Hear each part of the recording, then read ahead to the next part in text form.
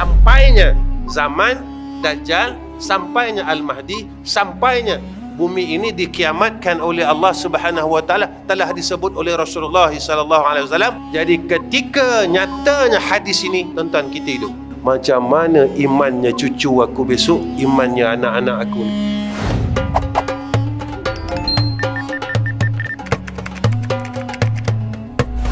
إلى حضرة نبينا محمد صلى الله عليه وسلم وعلى آله وسلم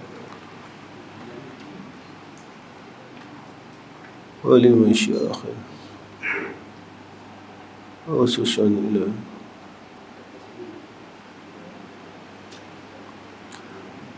الفاتحة. أعوذ بالله من الشيطان الرجيم. بسم الله. الحمد لله رب العالمين الرحمن الرحيم مالك يوم الدين. إياك نعبد وإياك نستعين اهدنا الصراط المستقيم. صراط الذين أنعمت عليهم غير المغضوب عليهم ولا الضالين.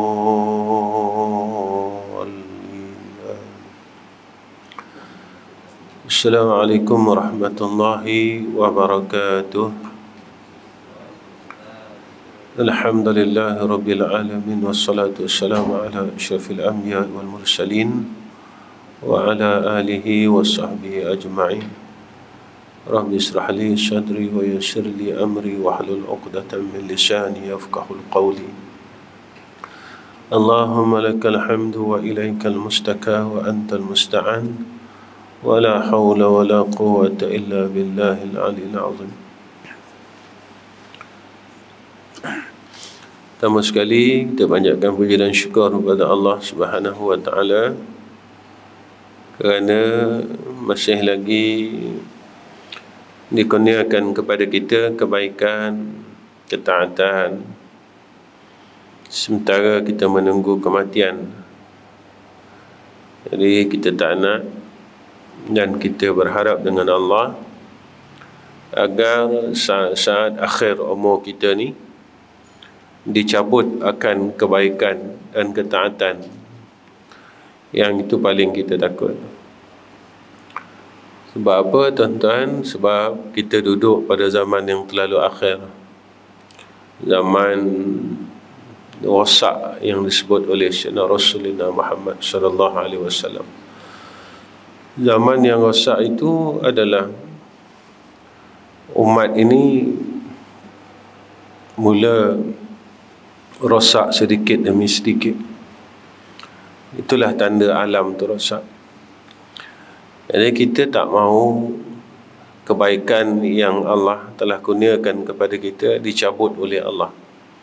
Seperti mana yang ada dalam Quran Rabbana la tuzigh qulubana ba'da iz hadaitana wa hab lana min ladunka rahmah innaka antal wahhab. Ya. Dan kita ditipu dalam hidup ni dalam hal yang sama kenapa tak boleh datang surau tak boleh datang masjid? Sibuk dengan hal keduniaan. Kenapa tak boleh duduk dalam majlis ilmu? Sibuk dengan hal urusan keduniaan. Sampai bila tuan-tuan kita bagi alasan yang sama dengan Allah macam tu? Alasan inilah yang akan kita tunjukkan besok di hadrah Allah Rabbul Jalan di padang mahsyar. Alasan ini sebab alasan itu yang akan dicatat setiap kali kita bercakap, setiap kali apa yang detik dalam hati kita. Dicatat oleh malaikat kiri dan kanan. Jika alasan itulah yang boleh menidakkan untuk kita terlepas daripada azab Allah, maka kita bolehlah teruskan gunakan alasan itu ya uh, baik. Kita sambung kitab kita muka surat 16 yang ketujuh kebinasaan makan. Kebinasaan orang yang banyak makan. Qala musannif rahimahullahu taala yang ketujuh bahawasanya padanya menyusahkan hati dan mem mempenatkan badan pada mencarinya. Ya. jadi kebinasaan makan ini jadi jadi susah hati, jadi penat badan nak cari makan. Sekarang ni orang sanggup cari makan. Duduk duduk di Selangor cari makan Nun dekat Negeri Sembilan. Eh, penat tuan-tuan.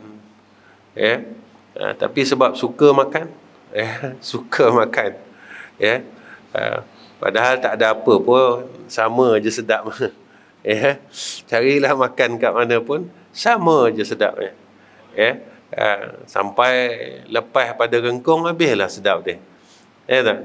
Makanan ni dia sedap dia kat rengkong tuan-tuan. Sedap dia kat sini. Habis dia lalu kat sini, dia antara dua. Sama ada jadi manfaat atau jadi mudarat. Tu ya. Ha. Sedap dia ketika dia lalu dia rengkung. Ketika dia lepas rengkung ni tadi, antara dua lah kita kena hadapi dia. Sama ada uh, dia mudarat atau manfaat. Sama ada manfaat agama atau mudarat pada agama. Sama ada manfaat dunia atau mudarat pada dunia. Itu ya. Dan mensediakannya dan memakannya dan melepaskan daripada mudaratnya. Ya. Ha. Jadi kita penat-penat ya. Ha. Cuma nak melepaskan sikit daripada kelaparan. Ya. Ha. Itu ya. Ha. Dia penat. Bukan apa penat tentang. Ya. Ha. Jadi akhir zaman ni Orang sakit sebab makan banyak. Bukan sakit sebab tak makan. Zaman ini sakit sebab makan terlalu banyak. Ya, makan sebab sakit, bukan eh, eh, apa sakit sebab makan. Ya, bukan sakit sebab lapar. Ya tak? Eh, betul perbezaan ya. Sekarang ni kalau kita tengok ramai terlalu ramai orang sakit, ramai sangat. Eh, ha, sebab makan kita ni dah kita sendiri pun tak tahu dah. Eh? Uh, macam mana. Dan yang kelapan, bahawasanya membanyak makan itu sebab bagi bersangatan sakit mati. Ah, yang ni paling kita takut. Ha. Eh? Ah. Paling orang suka makan, banyak makan, lagi sakit mati dia. Eh? Orang yang cinta makan termasuk orang yang cinta dunia ni tadi. Ya, yang ni kita takut. Ha, tapi kita tak fikir benda-benda ni lantaklah mati kendian gitu kata. Mati kendian. Ya tak? Yang penting hidup. Ya. Yang penting hidup, mati kendian. Macam cerita uh, semalam saya bawa satu cerita beli motor tuan-tuan. Beli motor. Beli motor ni jarang lah. Nak kata jarang memang tak ada rasanya. Yang sistem islamik. Melainkan kalau kita beli tunai. Kalau kita beli hutang semua loan kedai jadi bila loan kedai ni agak-agak ada tak unsur riba Baik, baik. Ini ini persoalan dia tuan-tuan. Riba ni dia dosa kecil ke dosa besar?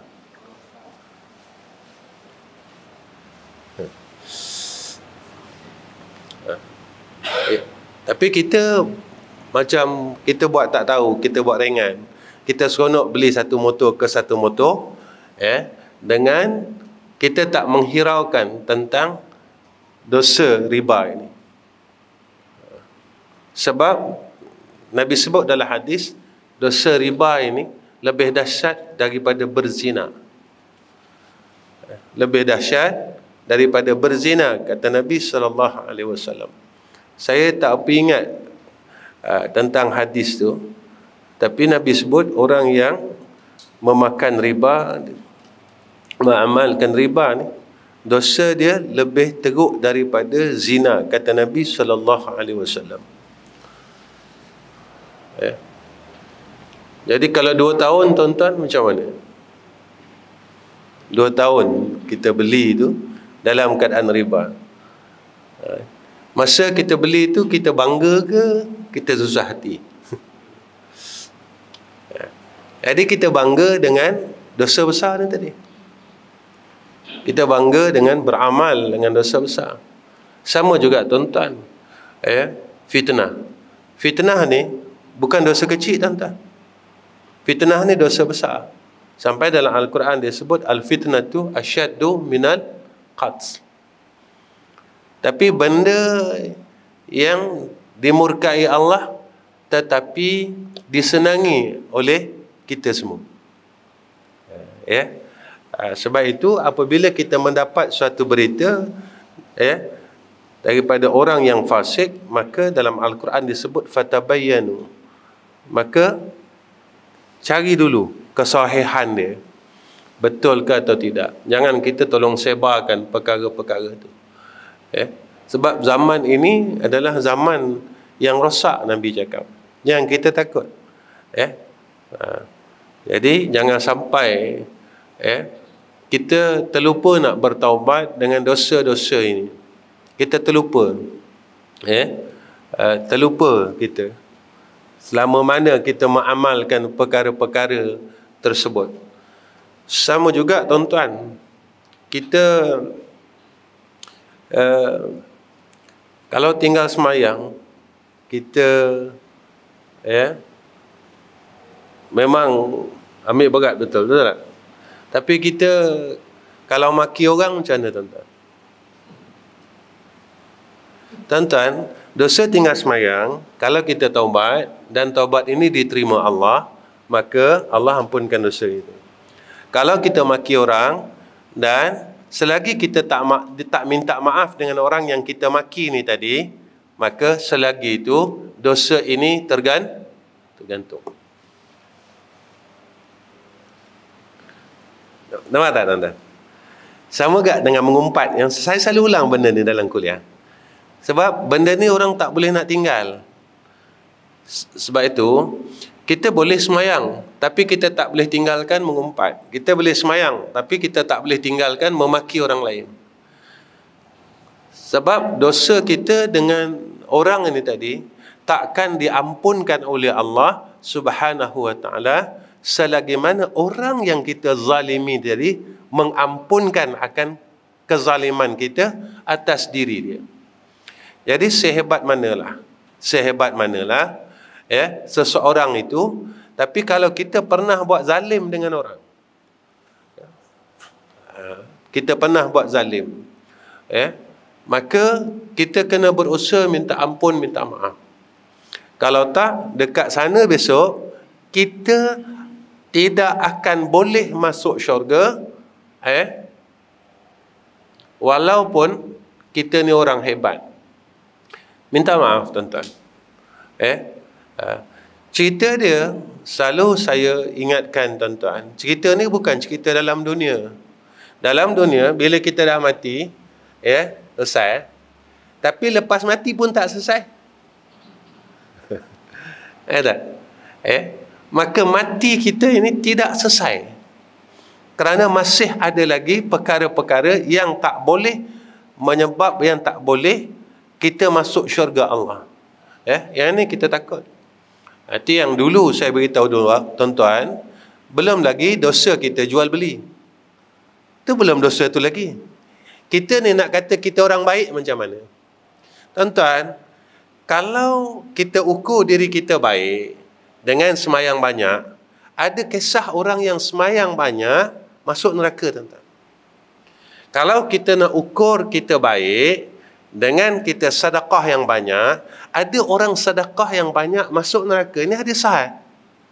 Kalau kita kata kita baca Quran yang banyak, diukur itu untuk itu saja.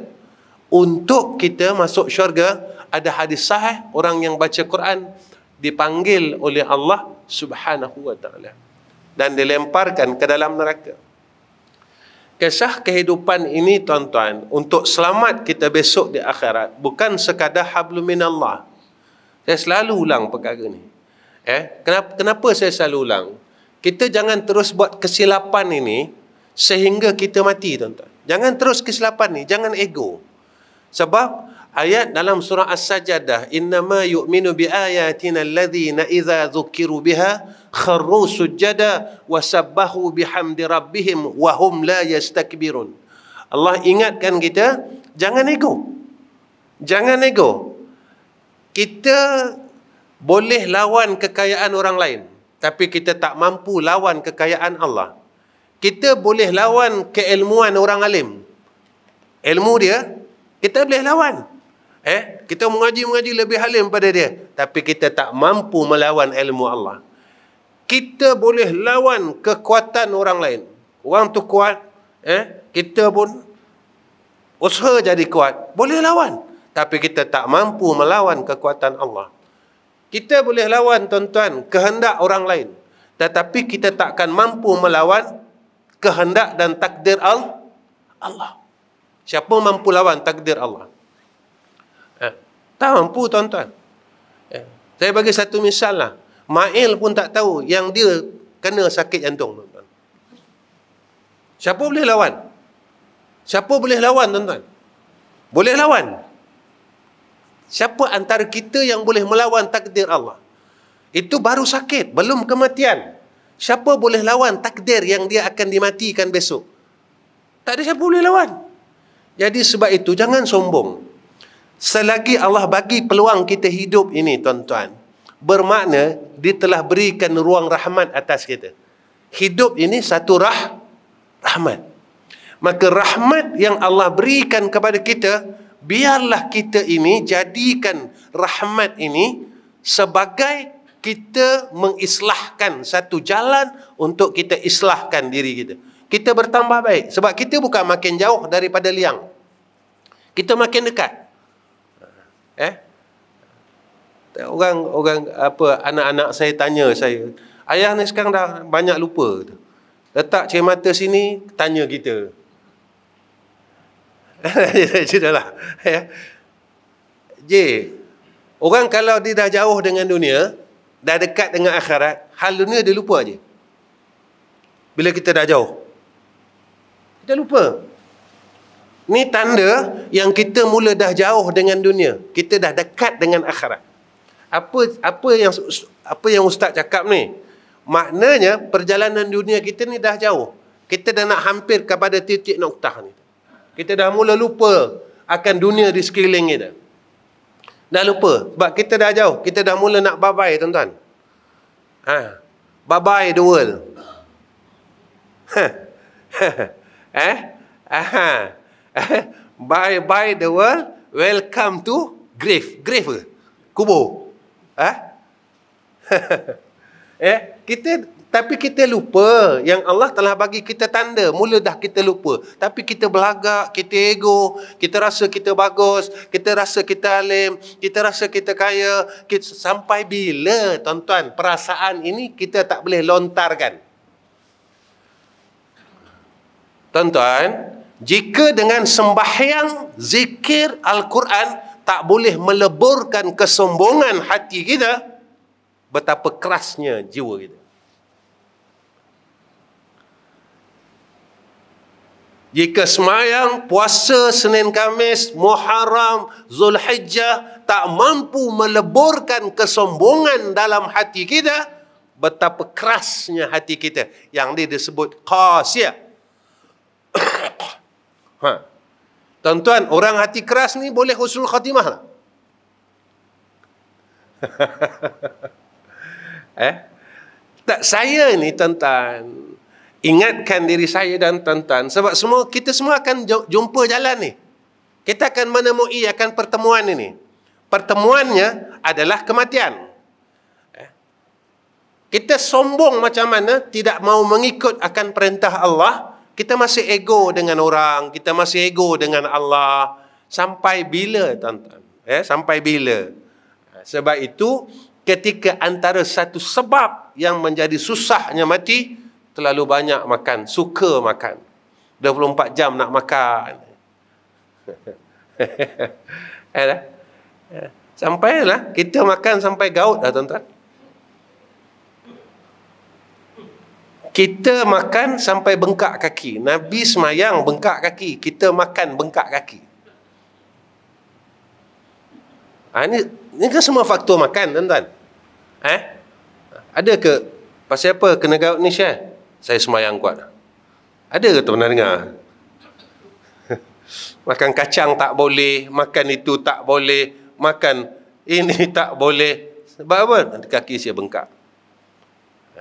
Allah bagi peringatan dengan kita kau takkan mampu lawan aku. Ini peringatannya. Aku baru tarik sebelah daripada kaki kau, kau tak mampu lawan aku. Ya, Nampak tuan-tuan zaman ni? Ya, tuan, ini bukan cerita. Tuan-tuan tengok kan keadaan uh, orang orang tak cakap saya ustaz. Ustaz tengok tak macam mana di Riyadh menyambut perayaan apa apa nama dia? Saya panggil perayaan hantu. Ha. Ha. ha. ya. Tuan-tuan, jangan tengok di Riyadh. Di Malaysia ini berlaku, tuan-tuan. Jangan tengok di Riyadh. Masyarakat kita sambut hari itu di di Kuala Lumpur. Jangan tengok jauh-jauh, tuan-tuan. Yang mana 20 tahun dulu tak pernah berlaku masyarakat Islam menyambut perayaan itu. Eh, pengalaman lah Haji, Haji Dolah kata. Saya pernah dengar tak orang kita Melayu dulu sambut apa? Hal apa saya pun tak tahulah. Nama-nama tu tak tahulah Haji Dolah nak sebut. Saya panggil perayaan hantu. Dulu orang Melayu tak. Kita sebut Melayu dulu. Ya? Eh? tak berlaku. Tetapi tahun 2022 ini kita melihat bukan jangan kita melihat di Riyadh. Kita melihat di rumah kita sendiri, di tanah air kita sendiri, di bumi kita sendiri. Ini bukan saya melihat kepada kampung kita, tanah kita, tetapi saya melihat isu ini. Zaman kerosakan umat ini telah mula ketara. Yang ni isu dia. Isu dia zaman kerosakan umat ini telah mula dinyatakan oleh Nabi kita 1400 tahun dulu dan sekarang berlaku. Tonton ketika berlaku perkara ini kita nampak benda ni lalu kat kita. Apa perasaan kita? Ada tak dalam hati kita kita sebut macam mana cucu aku nak lalu ya kalau lima tahun akan datang?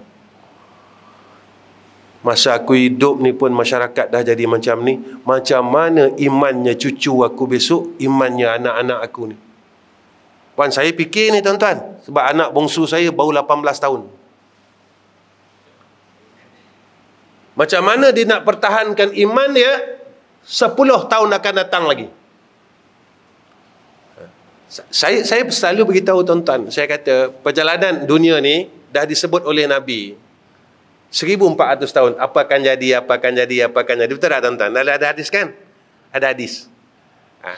Yang nabi yang nabi cerita dekat kita tentang perjalanan alam ini sehinggalah sampainya zaman dajjal sampainya al-mahdi sampainya bumi ini dikiamatkan oleh Allah Subhanahu wa taala telah disebut oleh Rasulullah sallallahu alaihi wasallam 1400 tahun dulu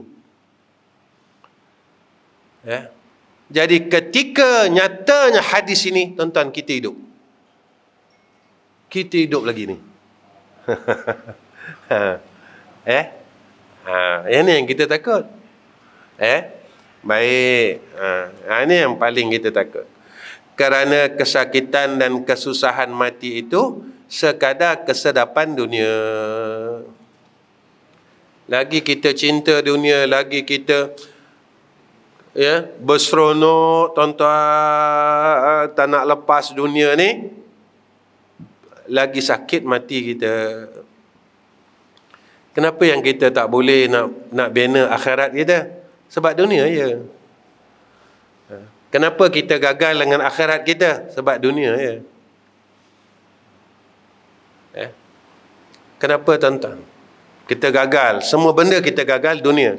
Kenapa seorang anak gagal dengan mak ayah dia? Sebab dunia. Eh? Seorang anak gagal dengan mak dan ayah dia sebab dunia. Kenapa tak boleh tengok mak? Saya sibuk. Ya, mak minggu ni tak boleh balik. Ada urusan, ada mesyuarat, ada ini, ada itu dan sebagainya. Urusan dunia, tuan-tuan. Kita gagal menjadi anak yang salah, urusan dunia gagal kita. Eh? Tuan-tuan, kalau gagal jadi anak saleh, anak yang saleh, maknanya anak derhaka. Anak derhaka ni yang disebut oleh Nabi sallallahu alaihi wasallam iaitu antara azab kubur yang disegerakan adalah anak yang derha derhaka. Sampai ulama sebut kat kita tuan-tuan, tiga hari tuan-tuan, kita tak doakan mak ayah kita. Kita jadi anak yang derhaka. Tiga hari ya. Kita tak doakan mak ayah kita, lebih pada tiga hari, kita anak derhaka kata ulama. Eh?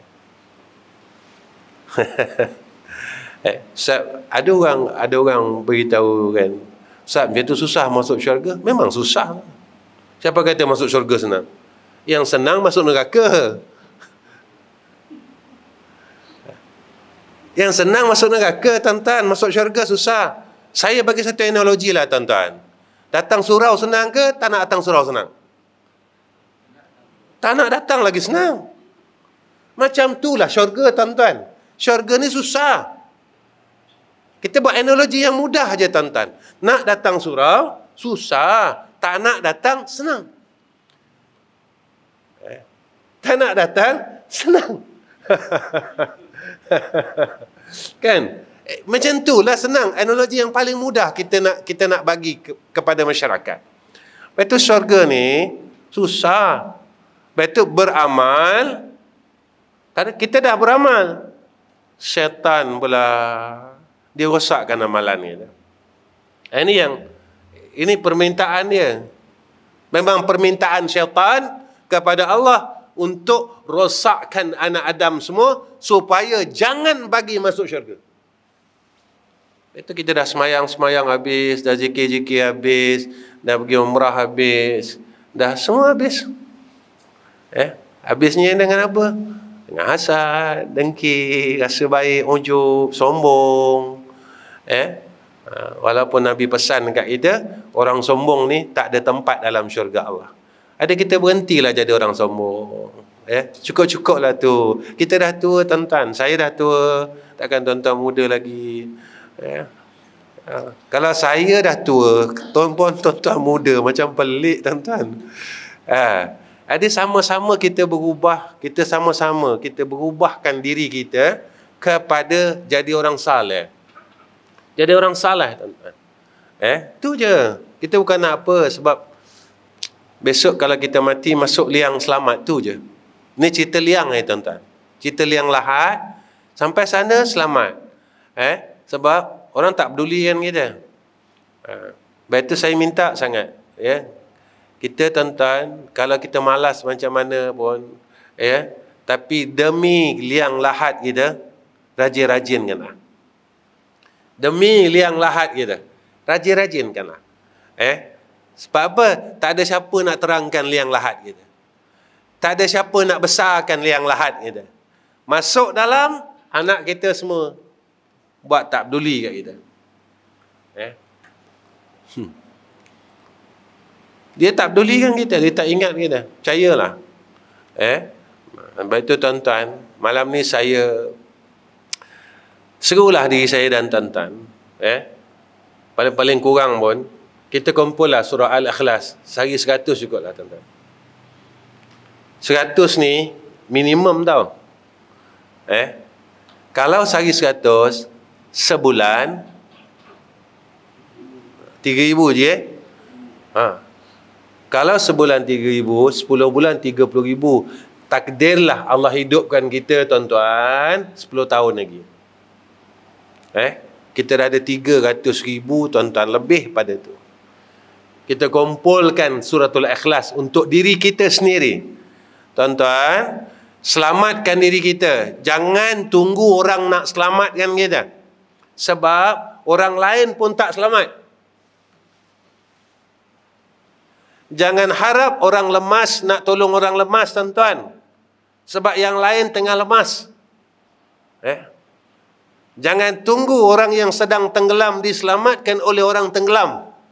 Eh? Selamatkan diri kita dulu tuan-tuan. Sementara Allah bagi ruang hidup ni. Jangan rehat-rehatlah tuan-tuan. Tak payahlah kita nak rehat, nak santai-santai sangat. Kita semua dah umur yang lahat dia panggil.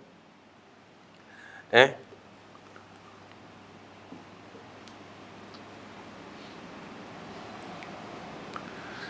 Tadi imam kita semayang semayang maghrib tu kan. Rakaat pertama dia baca ayat syurga. Eh? Nah, dia baca ayat syurga. Wa basyiril ladzina amanu wa amilus salihati anna lahum jannatin tajri. Eh, itu imam. Kan? Min tahtiha al-anhar kullama rudhiku minha min samaratir rizqa Habar gembira bagi orang mukmin ini jannah. Eh? Uh, tu habar gembiranya. Lepas itu kata Abu Lis As-Samarqan. Eh? Abu Lis As-Samarqan pesan dekat kita. Kegembiraan orang mukmin ni tuan-tuan ada beberapa perkara. Pertama, ketika dia husnul khatimah. Memang kegembiraan pada orang mukmin. Dia dapat husnul khatimah kegembiraan ni. Sekarang tuan-tuan, apa usaha kita nak dapat husnul khatimah? Saya kena tanya diri saya dan tuan-tuan kena tanya diri tuan-tuan, apa formula saya, apa formula tuan-tuan, apa gerak kerja saya, apa gerak kerja tuan-tuan, apa kesungguhan saya dan apa kesungguhan tuan-tuan untuk kita meraih husnul khatimah. Oh, Ustaz, saya dah semayang tak tinggal. Eh, ni tak tinggal. Eh, puasa Alhamdulillah. Hablu minallah. Tengok hablu minanas. Kita berusaha tak meninggalkan kejahatan. Kita berjaya melakukan kebaikan. Tetapi kita kena tanya diri kita. Aku berjaya tak meninggalkan kejahatan dan kemaksiatan. Dia nak tanya. Jaya tak? Kalau kita tak berjaya tinggalkan jahat tuan-tuan, maka kebaikan kita sia-sia. Saya tanya macam ni. Saya bagi satu perkara. Dalam buat baik, kita buat jahat. Eh? Maka kebaikan ni jadi apa tuan-tuan? Kita beramal, beramal, beramal, mengumpat. Ni jadi apa? Habis. Saya tanya diri saya, tuan-tuan, tanya diri tuan-tuan. Dalam tahun ini, bila akhir hari yang terakhir, kita dengar keburukan orang. Hah? Kalau bulan lepas baru kita cerita hal orang, baru kita cerita buruk orang, baru kita dengar buruk orang, bermakna starting kebaikan kita sebulan yang lepas. Maknanya daripada hari itu sampai umur kita akil balik, amal soleh kita dah hilang. Ini bukan saya cakap tuan-tuan. Yang cakap ni Rasulullah. Ini bulan maulid ini tuan-tuan. Kalau tak percaya kat Nabi, kalau tak percaya kalam Nabi, yang kita sambut maulid ni sambut apa? Yang yang ni yang saya nak jelaskan. Supaya besok balik kita tak nganga. Kan? Kita ingat kita dah amal banyak. Tuan-tuan, berusaha tinggalkan kejahatan dan kemaksiatan. Berusaha kita sama-sama saya berusaha tuan-tuan berusaha. Eh? Kita kita, kita ni tengah pending ni tuan-tuan. Tak tak pending. Eh? Tunggu je bila malaikat maut malaikat maut tengok kita geram tuan-tuan sebenarnya. Dah tua-tua dia kata, mengumpat lagi. Memang geramnya aku kata malaikat maut. Tapi sebab kau punya tarikh tak sampai. Dia. Kalau tarikh kau sampai, memang aku sentap. Eh? Kenapa kita tak boleh sedar? Kenapa kita tak boleh fikir tentang benda ni? Rugilah. Kita jadi ru? Rugi, tuan-tuan. Jadi rugi. Amal kita jadi rugi. Ilmu kita jadi rugi. Semua rugi. Eh? Sayanglah tuan-tuan. Kita tak sayang ke amalan kita. Kita dah lah tak amal macam orang lain. Tak mampu macam orang lain. Tiba-tiba habis. Sayang tak? Sayang lah tuan-tuan. Eh? Macam kita ada duit. Kita buang-buang duit kita. Sayanglah kan? Ha, pakailah benda yang sebetulnya. Kita ada harta tapi kita buang-buang harta kita. Ya? Ha, sayanglah. Harta tu sayanglah. Macamlah amalan tu tadi. kita dah lah tak banyak tapi kita buang-buang bagi-bagi kalau bagi orang tu dapat pahala tak apa kita bagi orang sebab kita jahat ya ha, jadi kita tak hendak macam tu ya baik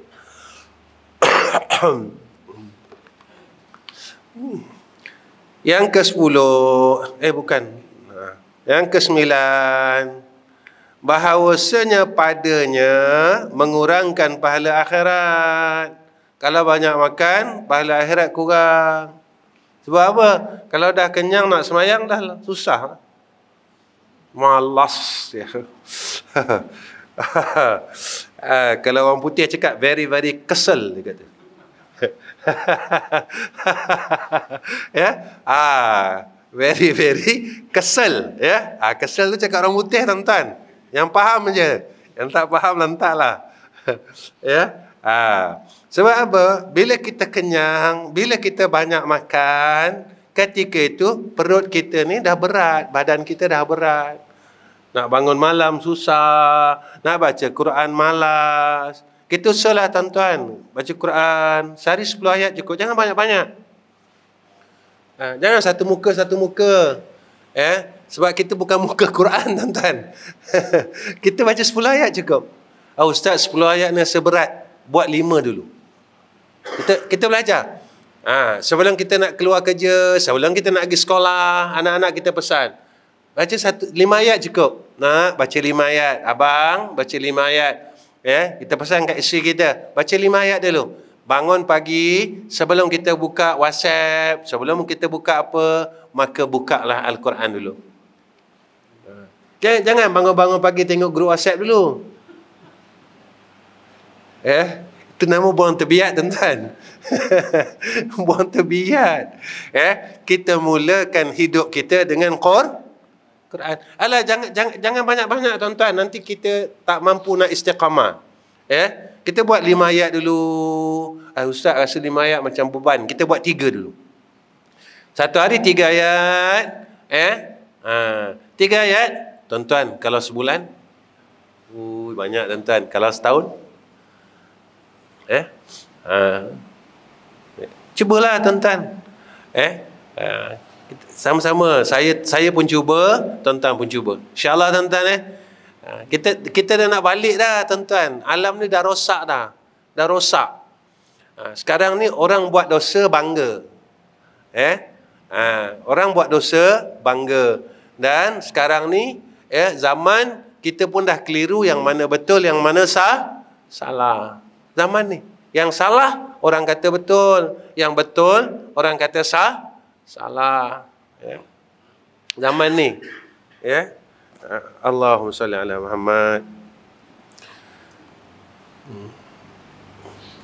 Kemudian yang ke-10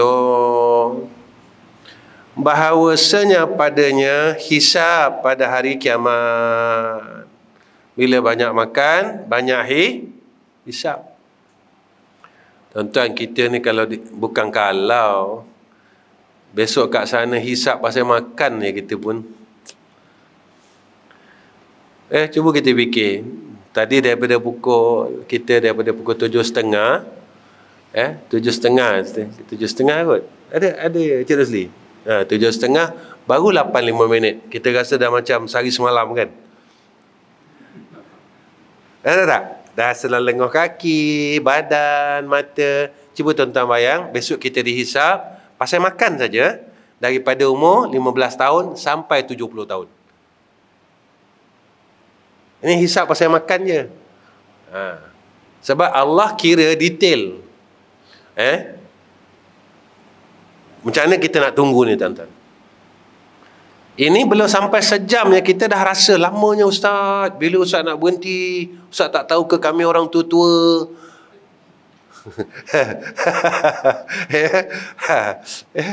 kami orang tak tak fikir ke ustaz fikir dia saja. Nampak tak tuan-tuan? Nanti di akhirat satu bab saja. Saya minta saya fikir tuan-tuan fikir. Bab hisab, bab makan sahaja. Makan saja daripada umur kita 15 tahun akil balik sampai umur mati kita. Kalau 70, 70. Kalau 80, 80. Macam mana kita nak tunggu dekat mizan? makan. Makan beli macam mana? Ada ijab kabul tak? Sah tak jual beli? Kalau tak sah dosa. Berapa tahun kita buat dosa makan ni tadi? Kita pergi kedai kedai mamak kedai tom yam lepas bayar kita cakap saya beli ya. Ustaz dah 20 tahun tak cakap macam tu Ustaz. Hukum dia haram. Bila hukum haram dosa makan je. Saya ingat kita tak keluar-keluar lagi. Tak keluar neraka dah. Sebab dosa makan saja kita tak lepas. Kan kita sebut dalam bab jual beli. Betul tak tuan-tuan? Syarat sah jual beli kena ada ijab qah. Ha? Macam mana ni? Eh? Ha tuan-tuan ini bukan hukum kita ini hukum Allah Allah ha. kita berjaya dalam semayang tapi kita gagal dalam jual ber jual beli kita berjaya dalam puasa, kita gagal dalam nikah kahwin. Kita berjaya dalam zakat, kita gagal dalam hubungan dengan masyarakat. Ha. Ya. Sekarang nak maki orang tak payah dengan mulut tuan-tuan, dengan jari. Kan senang kan? Pernah tak kita maki orang dengan perkataan-perkataan yang tak elok, kita dah minta maaf tak dengan orang tu? Nampak tak? Ha, kita maki dia. Eh? Ha. Dan kadang saya tanya, apa hukum maki orang ni? Tuan-tuan, bila perangai kita macam tu, kita boleh kata kita ahli syurga. Adakah perangai ahli syurga ni, dia memaki hamun orang lain dengan perkataan yang tidak baik? Ha? Yang ni yang kita kena kena ulang kaji tuan-tuan, kena ulang kaji. Saya ulang kaji, tuan-tuan ulang ke? Ulang kaji. Hatta dia cakap benda yang faedah pun tak. Yang tak berfaedah dia jaga. Kan ada sifat ahli syurga kan dalam surah Al-Waqiah. Ada ada tak? Kan? Kita tengok. La yasma'una fiha lagwan wa la ta'thima illa qilan salaman salama ha. kata nak nak masuk syurga tuan-tuan bila nak masuk syurga kita kena ikut panduan sifat-sifat ahli syur syurga ha. Kita usahalah saya nak masuk syurga tuan-tuan saya pun nak usaha juga sekarang ni nak usaha keluar dari neraka dulu ha, kita nak usaha nak keluar dulu sebab kita sebelah kaki dalam neraka ni. eh? Allahu. Ya. Ya Allah, ya. Itu yang saya cakap dengan tuan-tuan bulan lepas. Kan? Oh, Alhamdulillah Ustaz. Ya, saya dapat masuk raudah. Kan? Dia tanya dulu, masuk raudah tu application tu tipu ke tak?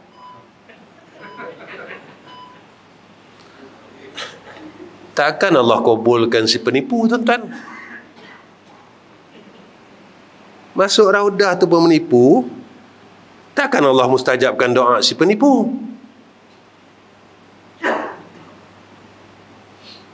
macam mana tuan-tuan kita riba tak lepas lagi macam mana doa nak mustajab orang yang mengamalkan riba Memang tempat tu mustajab. Tempat tu tak salah. Yang salahnya yang tengah duduk tempat tu. Tempat tu tak salah. Sebab tempat tu telah dijanjikan oleh Nabi. Raudah itu tempat musta, mustajab. Yang salah yang tengah duduk tempat tu. Yang tengah duduk tempat tu lah yang si penipu. Yang tengah duduk tempat tu lah yang sedang makan riba. Yang yang duduk tempat tu lah yang khianatkan harta orang lain. Eh? Ha. Macam mana? Sebab Nabi kata orang yang makan daripada harta yang haram, seluruh amalannya ditolak oleh Allah. Eh, kalau makan harta riba, ada tak? Kita amalkan riba lagi tuan-tuan. Cek-cek balik. Orang yang makan harta haram, maka amalannya ditolak oleh Allah. Jagalah tuan-tuan. Alah dunia ni sekejap aja. Eh? Ha.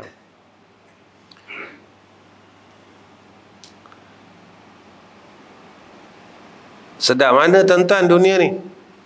Eh? Dulu tuan-tuan orang kata naik kapal terbang seronok eh Allah. Tak eh? Kita dah sekarang dah naik kapal terbang, kita takut pula. Bukan seronok, jadi takut. Orang kata naik kapal terbang senyap sunyi. Mana je senyap sunyi. Ya? Langgar awan gelegu-gelegah je. Ya? Ha? Eh? Orang kata naik kereta mahal. Eh, tak rasa langgar lubang. Bohonglah. Mana ada kereta yang langgar lubang tak rasa? Haji pernah nak naik je? Saya je, orang bawa saya naik Porsche je, saya ingat, memang tak rasa je. Rasa. Gedeguh tu rasa. Eh? Jangan kata, eh tak adalah. Macam duduk dalam rumah, bohonglah tuan-tuan. Tapi akhirat besok ya nikmat yang tidak ada hujung kesedapan yang tidak boleh diungkapkan. Ini dia akhir akhirat. Ya? Ha itu dia. Baik. Ha. sikit lagi tuan-tuan. Sikit lagi. Kita dah bumur-bumur ni ngaji lama tak boleh. Ngaji lama Yang ke-10 bahawasanya padanya hisab pada hari kiamat telah menyebut akan 10 perkara ini oleh Imam Ghazali dalam Minhajul Abidin. Telah datang berapa hadis Nabi wasallam pada mencela akan kenyang. Setengah daripadanya al-mu'minu ya'kulu fi ma'din wahidin wal kafiru fi sab'atin am'adi hasba ibn Adam luqaymatun yukimna sulbahu in kana wala budda fa haqqahu sulusa lit-ta'am wa sulusun lisyarab wa sulusun lin-nafs ya bermula orang yang sempurna iman itu makan dia pada satu perut. Dan orang kafir itu makan dia pada tujuh perut. Wah dia macam perut ni. Maknanya orang mukmin ni makan tak banyak. Dia makan tapi tak ba tak banyak. Bak kata orang Melayu bukan papan kaya petara, bukan makan mentega ha. Ya. Ini bak kata orang Melayu. makan tak salah, jangan sampai mentega. Sebab mentega darah ni jadi mudarat. Makan ini dia tak jadi mudarat, disuruh makan. Dalam Quran pun kata, makanlah, minumlah daripada eh makanan yang ha? Halal. Suruh makan. Eh bukan tak suruh makan. Bukan suruh langsung tak makan eh makan. Tapi jangan makan banyak sangatlah. Memada akan anak cucu Adam beberapa suap yang membetulkan akan tulang belakangnya ya? Ha, kita belajarlah tuan-tuan. Belajar. Kurangkan kurangkan sikit. Kurangkan sikit makan Jangan jangan jangan terlalu kerap sangat jangan terlalu banyak makan. Ya. Tak pula zaman sekarang ni makan tak apa-apa dah. Ya. Ha. Betul saya sarankan tuan-tuan lah, jangan kerap sangatlah makan beli kat luar. Ya. Ha. sebab antara makanan yang yang baik itu ialah makanan yang kita masak sendiri. Ya. Kalau boleh rajin-rajin masak lah. Jangan rajin beli kat luar lah. Ya. Sebab kalau beli kat luar, kita tak tahu proses dia macam mana. Dia basuh daging tu sah tak? Dia basuh ayam tu betul tak? Ya. Ha. Ataupun ya, ha, masih lagi bertakung darah-darah daging tu dia masukkan dalam gulai. Dia tak letak dalam tapis. Kan? Ha. Kan melakung-lakung kan eh, air darah tu kan? Ya. Tengok dia proses dia macam mana. Ya, itu yang kita takut. Takut kita makan najis. Eh, bukan bukan apa-apa pun. Eh, ha, kita kalau boleh masak sendiri sebab kita tengok sendiri, kita buat sendiri. Eh, ha, senang. Eh, baik. Jika ada ya menuntut tambah dan tak dapat tidak daripada menambah maka sepatutnya sepertiga bagi makanan. Sepertiga minuman sepertiga bagi mengeluarkan nafas. Wallahu taala a'lam. Eh? Jadi kita makan kita bagikan. Kan kita ada satu untuk angin satu untuk air satu untuk makan makanan. Jangan semua tempat ni kita penuhkan makanan. Tempat angin itulah makanan tempat air itulah makanan. Ya? Ha, itu yang hadis Melayu tu. Yang saya baca tadi tu yang last tu ya? Ah qala malayuwi ha, bukan papan kayu betara bukan makan mentega darah ha, sahihan fi malayuwi. Ada baik ya. Kita minta panjang umur tapi dapat buat baik. Jangan kita kita minta panjang umur tapi kita tak dapat buat baik ya. Ha, tuan-tuan macam ni je Ustaz, ada orang tanya saya, Ustaz, saya tak banyak pun buat baik. Dia kata, tak apa bang. Tapi kurangkan maksiat. Tinggalkan maksiat. Kita berusaha meninggalkan kejahat, kejahatan. Dan baik yang kita buat, biar ikhlas. Ya, ha, Kita jangan buat baik, tapi baik tu rosak. Macam saya katakan tadi. Dalam masa kita buat baik, kita masih tak tinggalkan jahat. Eh? Ha, jadi, Memang kita tak mampu nak ikut macam mana sahabat buat baik. Ya, tapi kita jaga kebaikan itu. Kita tinggalkan kejahatan kita, tinggalkan yang saya katakan pada awal kuliah tadi. Ya, sudut-sudut kejahatan batiniah kita ni tadi sombong, bongkar, ya. Uh, semua kata-kata orang ni dah lah kita tinggal lah dulu. Dah cukup lah, dah lama dah. Ya, umur kita dah 50, takkan tak puas lagi kata orang tuan-tuan. Dah 50 tahun kata orang Cukuplah kita dah nak balik ya. Ha, jadi kita lah jadi orang baik Allah nak kita jadi orang baik ya. Ha, sebab itu bila kita tengok Dekat keranda Kan orang ambil keranda kan Kan selimut keranda tu ha, Semoga Rohnya Bersama dengan orang-orang sah, Saleh ya. Kita nak macam tu lah yes. Dan kita dapat duduk tempat orang saleh Solat tu cakap Arab, cakap Melayunya baik. Eh? Ha. Orang putih cakap apa, Jidullah? Saya tak betul. Good man ke? eh? uh, tak tahu. Jadi kita nak macam tu sebab kita tak kuat macam orang lain. Ya. Ha, itu yang saya selalu sebutkan pada diri saya dan tuan-tuan kita usahalah masing-masing ya. Insya-Allah. Eh? Ha, so kita dapat jumpa kat sana, tak adalah asing-asing tuan-tuan kita dapat jumpa tempat yang sama iaitu di syurga al Allah. Eh ha, kita jaga. Eh jaga semua. Kalau seorang anak jaga hubungan dia dengan mak ayah dia. Kalau kita ada masih ada mak ayah lah jaga. Supaya kita tak jadi anak yang derhaka. Kita ada kawan-kawan jaga hubungan kita dengan kawan-kawan. Kita isi dan anak-anak dan keluarga jaga hubungan ni. Kita dengan masyarakat jaga. Eh dalam bab semayang kita dah selesai. Dalam bab hablum minan nas kita selesaikan juga. Eh? Ha, sebab ketika itulah kita dipandang oleh Allah buat orang baik.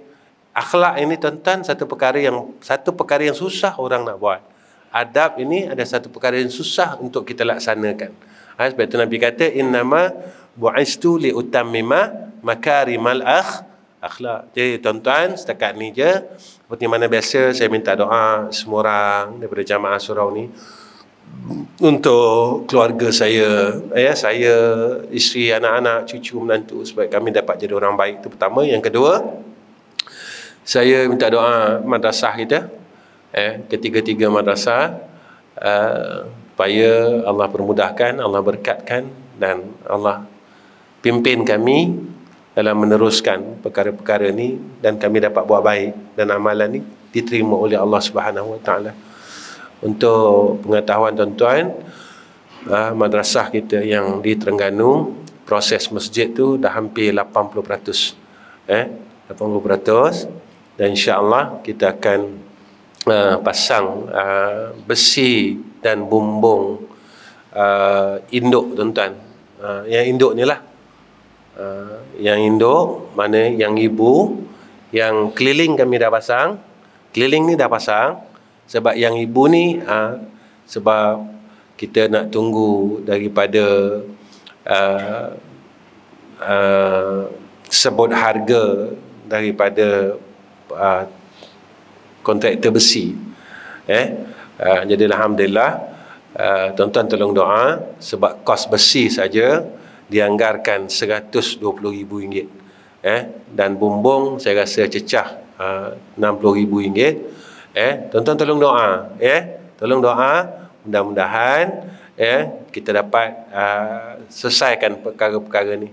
Dan alhamdulillah ya tadi uh, uh, sahabat kita daripada Terengganu bagi maklumat kat saya alhamdulillah kita dah mulakan proses satu bangunan uh, bangunan lain dan saya tak pasti tapi dia bagi gambar tu ustaz kita dah mula projek yang lain pula jadi tuan-tuan tolong tolong doa ya ya saya minta doa tuan-tuan tuan-tuan orang baik-baik eh zikir kuat semayang kuat puasa kuat eh Ha, semua kuat. jadi orang baik-baik doa dia makbul. Eh? Ha, jadi saya minta berkat tuan-tuan. Ya, tolong doa. Tolong doa. Ya, doa ni atas rasa kasih tuan-tuan, atas rasa sayang. Ya, maka sayang inilah kita dapat rahmat Allah. Sebab itu Nabi kata, "Man la yarham, la yurham." Siapa yang tidak ada kasih sayang, dia tak dapat rahmat. Jadi doa ini supaya kita dapat rahmat itu je. Wallahu a'lam bishawab. Akhir kalam. Assalamualaikum warahmatullahi wabarakatuh. Bismillahirrahmanirrahim. Alhamdulillahirabbil alamin. Wassalatu wassalamu ala asyrafil anbiya wal mursalin wa ala alihi washabbihi ajma'in. Ya Allah, jadikan kami orang baik. Ya Allah, jadikan isteri dan anak-anak kami orang baik. Ya Allah. Ya Allah, beri kekuatan atas kami untuk kami berusaha berbuat kebaikan dan untuk kami jadi hamba-Mu yang baik. Ya Allah. Ya Allah, Ya Arhamar Rahimin, beri kekuatan atas kami dan pimpin kami untuk meninggalkan segala kejahatan dan kemaksiatan yang masih kami lakukan.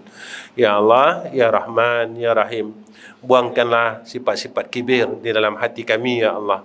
Kau hiaskanlah ya Allah hati kami dengan sifat merendah diri kepada Engkau ya Zal Jalali wal Ikram. Ya Allah, kurniakan atas kami husnul khatimah. Ya Allah, kurniakan atas kami husnul khatimah. Ya Allah, kurniakan atas kami husnul khatimah. Ya Allah, mudahkan segala urusan dunia dan akhirat kami ya Allah. Ya Zal Jalali wal Ikram. Wa sallallahu ala sayyidina Muhammad wa ala ali sayyidina Muhammad. Walhamdulillahirabbil alamin. Taqabbalallahu minna wa minkum.